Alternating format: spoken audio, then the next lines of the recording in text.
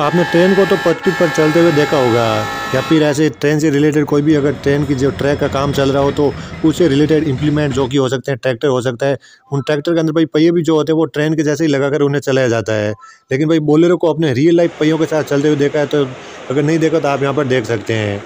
मतलब कि ये जो है, वो चेना ब्रिज पर जो अभी बन रहा है रेलवे ट्रैक इंडिया के अंदर, उसके ऊपर इस गाड़ी को चलाया गया है। अगर देखा जाए तो भाई इस गाड़ी को जो इसलिए चलाया गया होगा शायद इसकी स्टेबिलिटी वगैरह देखने के लिए।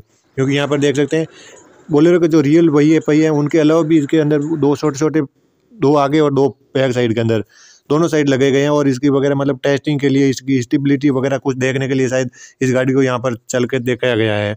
वो भी काफ़ी मतलब लो कह सकते हैं लो स्पीड के अंदर, बहुत ज़्यादा तेज़ भी हाई स्पीड नहीं थी और काफ़ी सारे इम्प्लीमेंट भी इस गाड़ी के साथ लगे हुए थे।